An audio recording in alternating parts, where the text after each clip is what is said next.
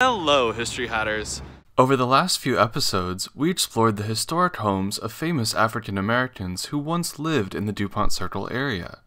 We began by retracing the steps of the famous poet Langston Hughes. As you might recall, we visited 1749 S Street Northwest, where Hughes and his mother and brother spent the winter of 1925 in the then unheated apartments upstairs. We then stopped by 1615 S Street Northwest, the home of legendary women's suffrage and civil rights champion Mary Church Terrell. Despite the fact that Mrs. Terrell's residence was listed on the 1984 application for the Dupont Circle neighborhood to gain its status as a historical district, neither this house or the former home of Langston Hughes bear any markers identifying them to the public as historical sites. In contrast, in our last episode, an exterior plaque honors the historical residence of an emancipated slave turned publisher, scholar, and lawyer, John Wesley Cromwell. During our tour inside, I asked the home's owner, Ken Patterson, about his experience in erecting Cromwell's historical marker. My name's Ken Patterson. I have lived here on the 1400 block of Swann Street since 1995 and been in the District of Columbia since 1988. I first learned about uh, John Wesley Cromwell, a, um, a book uh, called A History of Black Washington. Decided to look at the index to see if there was anything about Swann Street in it.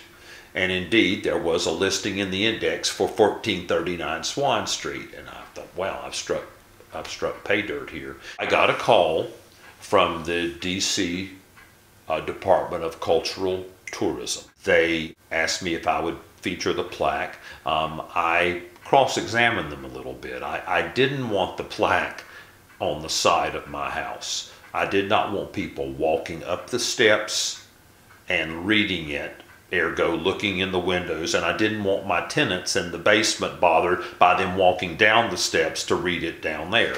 So I told them I would do it as long as they would put it in the flower bed, and they were happy to do that.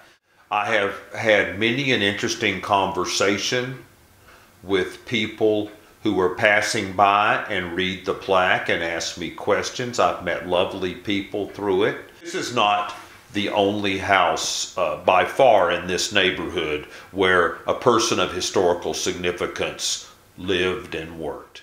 But I know that there are other houses, uh, the Langston Hughes house and the Mary Church Terrell house, that are not currently featured on the walking tours. I don't know the history of that. I do not know if if the owners were uh, requested to participate and did not. I don't see a downside to touting the historical or cultural significance of properties. I think it only inures to the benefit of the house and the benefit of the neighborhood. If you believe the Dupont homes of Langston Hughes and Mary Church Terrell deserve historic markers, sign our Change.org petition by visiting thehistoryhat.com.